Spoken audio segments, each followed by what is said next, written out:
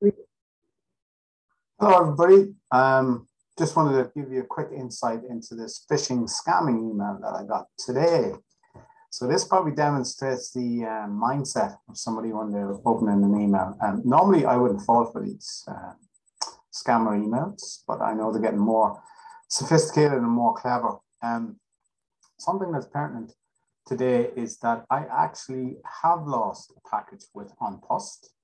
Um, and I do want to follow it up. I sent a form recently and uh, I didn't enclose my email address. So they uh, got this email this morning. And it looks like it's from An Post and it says, Dear receiver, receiver's in lowercase, so it's not my name. It says, Dear receiver, we have problems with your shipping address to the delivery your package. So there's a, that's grammatically incorrect. Um, but you might notice you have to read it a few times.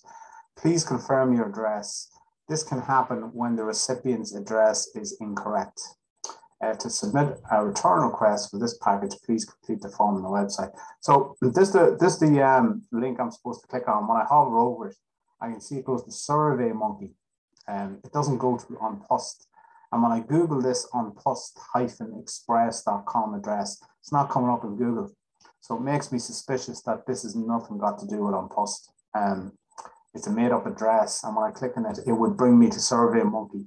Now, I don't know what would happen when I go to SurveyMonkey because SurveyMonkey is highly reputable and it's a survey platform.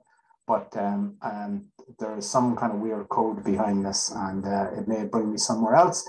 It may put spyware onto my PC or malware or bots or whatever.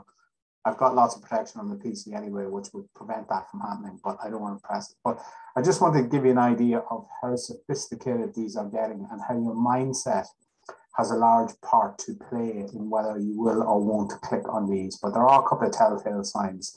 The old dear, dear, dear receiver is a giveaway, and the grammatical incorrections in this sentence is a giveaway. And um, when you hover over the click, um, the link, it's it, they go to two different places, so that's not where this is. Um, but you know the color scheme is correct, the fonts are all correct. It's quite sophisticated, um, but this is obviously a scam. So just wanted to share that with you today.